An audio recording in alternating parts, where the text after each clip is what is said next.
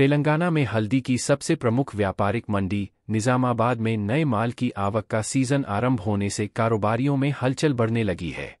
पिछले दिन निजामाबाद के भाजपा सांसद ने कृषि उपज मंडी में एक मीटिंग के बाद हल्दी के उत्पादकों एवं व्यापारियों के साथ बातचीत करते हुए कहा कि वर्तमान समय में देश से करीब 1,600 करोड़ रुपए मूल्य की हल्दी का सालाना निर्यात हो रहा है जबकि केंद्र सरकार ने वर्ष 2030 तक इसे चार गुना 400 प्रतिशत बढ़ाकर 6,400 करोड़ रुपए पर पहुँचने का महत्वाकांक्षी लक्ष्य नियत किया है।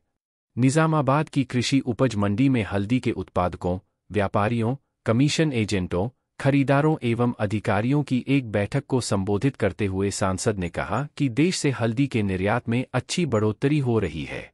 चालू सीज़न से ही राष्ट्रीय हल्दी बोर्ड भी क्रियाशील हो जाएगा, जिससे यह सुनिश्चित हो सकेगा कि बुनियादी ढांचागत सुविधाओं के विकास विस्तार की गति तेज होगी ताकि हल्दी के उत्पादकों को इसकी खेती से लेकर इसके निर्यात तक के लिए सभी आवश्यक एवं संभव सहायता उपलब्ध करवाई जा सके। सांसद के अनुसार केंद्र सरकार किसानों की सुविधा सहायता के लिए आदर्श बुनियादी ढांचा तैयार करने हेतु 200 करोड़ रुपए खर्च करने की योजना बना रही है।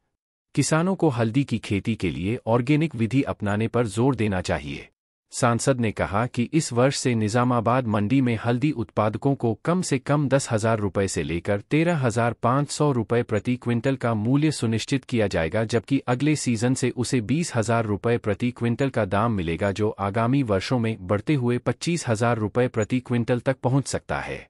इससे किसानों को हल्दी का उत्पादन बढ़ाने का बेहतर प्रोत्साहन प्राप्त होगा। Bureau Report Market Times TV